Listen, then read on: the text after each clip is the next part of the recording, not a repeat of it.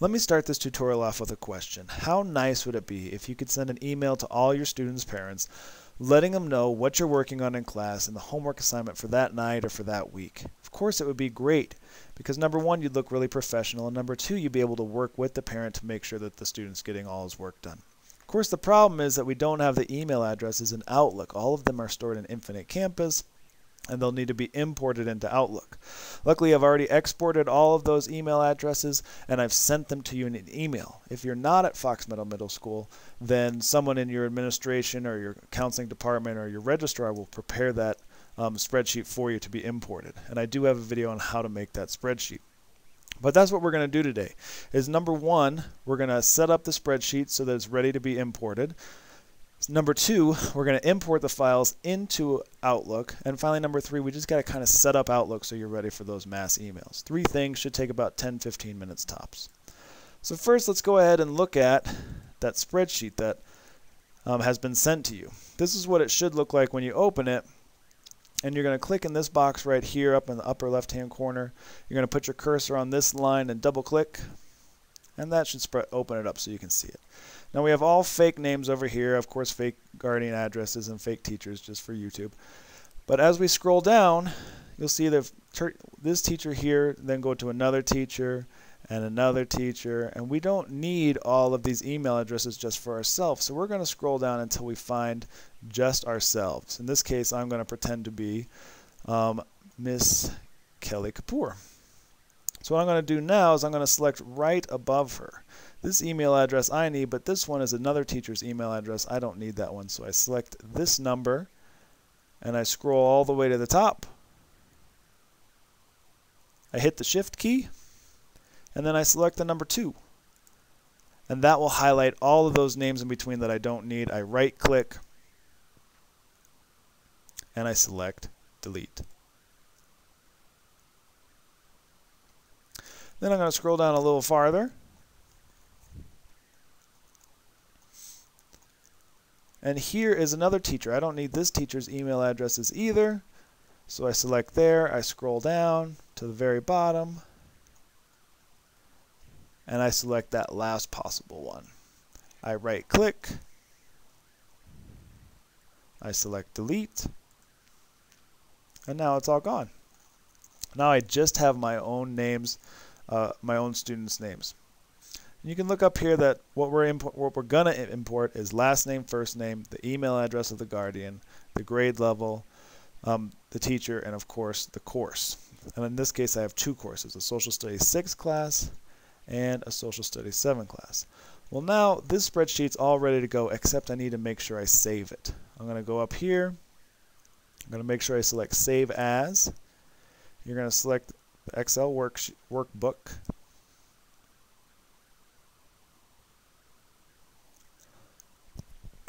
now this is very important. You do not want to save it as actually an Excel workbook. You're going to select right here and you need to scroll down until you get to comma delimited CSV that stands for comma separated values. Select that. Tell it where you want to save it. I always suggest saving it to the desktop because then you'll be able to quickly throw it away after you're done with it and I hit save, it's going to say, you really want to replace it? Yes, I do. And it says, it's, you know, are you sure you want to do it in this format? Yes. And then you can X out of here. You don't need this program up anymore. And it always asks you, you got to hit yes like five times when you're doing this. Save. Yes, I want to save it. And finally one more, yes. Alright, so now it's all saved and here I am in Outlook and I've already selected contacts down here. So I go up to File and now I'm going to import those things that I just set up. And I'm going to go File, Import and Export, select it, and it's going to provide a wizard for me, which makes things easier. Make sure that you have import another import from another program or file, hit next. You want to make sure you do comma separated values. Remember that's how we saved our spreadsheet. Windows, hit next. Here you want to browse for it. Yours will probably be blank. Go ahead and browse for it. You're going to go to desktop. Hopefully you saved it there and then you're going to select this one here which is the one I saved. Hit OK.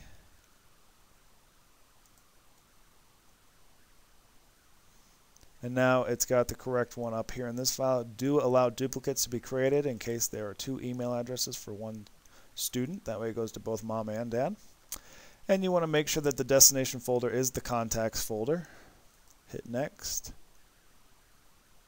And then finally, before you hit finish, you have to map the custom fields. So hit map custom fields. What you're doing in this situation is you are telling the spreadsheet, which is over here, last name, first name, email, grade, teacher, course, that's what we set up before, where to go over here. And I'm going to, just for these purposes, I'm going to clear the map, just so I can show you how this is done. Alright, so I need to make sure that the last name and first name go into name, so I'm going to expand it. I click that little button right there. That expands it so I can see it. I grab last name, click and drag, right to last name. When it highlights like that, go ahead and release it, and it'll go right there. First name, drag over to first name, release it. Email, we're going to wait till later. I'm going to shrink this back up.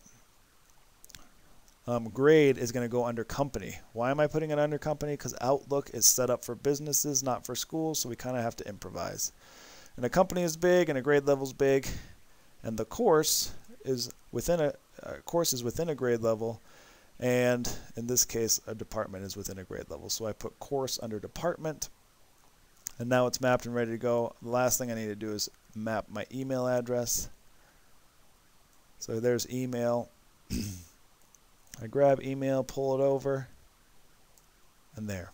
And some of these may have been automatically done for you, um, but typically the grade and course are not done for you. Um, you do not need to map teacher, and the reason for that is you're the only teacher. They're all the same, so it doesn't matter. And so you hit OK, and then finally hit Finish, and now it's going to import them for you.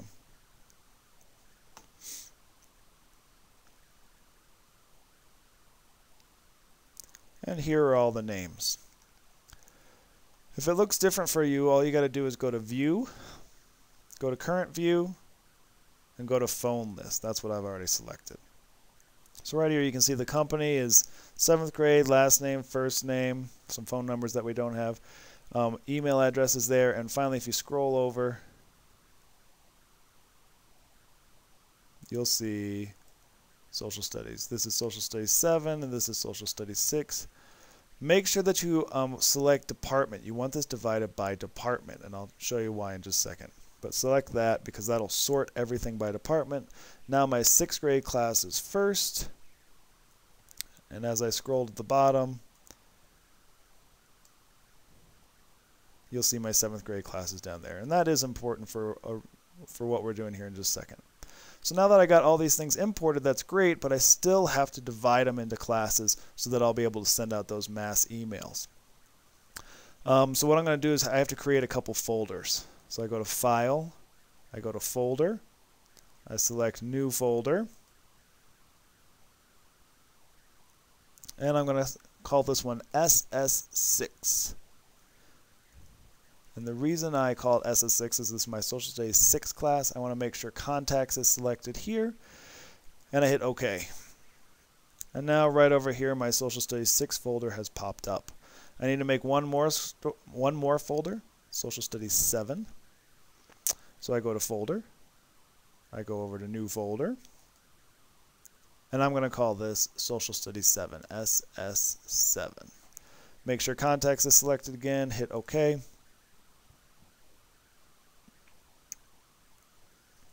And now I have my Social Studies 7 folder right here. So what I'm going to do now is I'm going to select, at the very top, I'm going to select my Social Studies 6 kiddo, my first one. And then I'm going to grab this bar and I'm going to go all the way down to the bottom of my Social Studies 6. Here he is right here. I'm going to hit the Shift key and select that bottom kiddo. And then I'm going to grab anywhere in this blue area. I'm just going to grab it. I'm going to drag it over to SS6, that SS6 folder. and now all those names have been moved into that folder.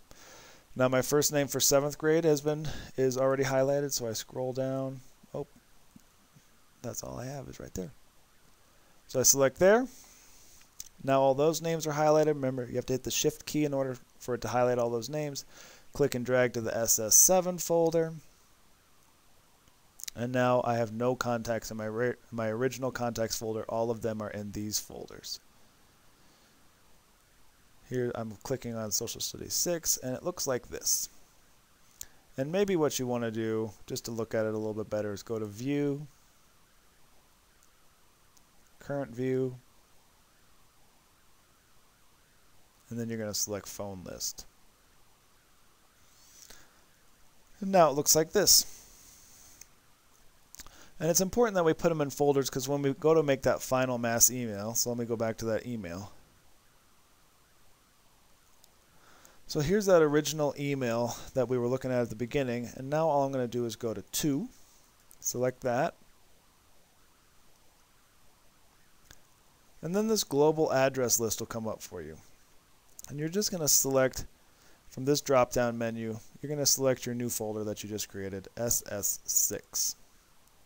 In this folder, we have all of our Social Studies 6 students and all their parent email addresses. So you have the first one highlighted here already, and you're going to take this scroll bar down to the bottom, you're going to hit the shift key, and then when you click that bottom person, all of those will be highlighted, and then you're going to select BCC. It's very important you select BCC. BCC stands for blind carbon copy. It means that when you send these email addresses out, the people receiving the email addresses will not be able to see who it was sent to. So you'll not be sharing all of these parent email addresses with each other. If you put it in the to box, you will be sharing it. Don't hit to, hit BCC. So when I hit BCC, it starts to load in. And then it looks like this. And you can see all the names are here. As I scroll up, those are all the students with their parents' email addresses. You hit OK, and there we go. We have all the all the blind carbon copy email addresses right here. With our email right here, we just hit send and then we're off. Now there's two more important things. Number one, if you get students throughout the year, you are going to want to, or sorry, if someone disenrolls from your class or gets changed to a different class, you are going to want to delete that student. Let's say this student was that one. You're just going to select that student like that, right click, and go to delete right there. And if you need to add a student, you're going to go right up here. You're going to select here. The number, this is sixth grade, and hit tab and go across and type in the student's name and all the, all the stuff, and you can copy and paste the email. But then you can add it in as you're going. Um, that's about it. Uh, enjoy sending emails to your parents and enjoying wonderful success for yourself and your students.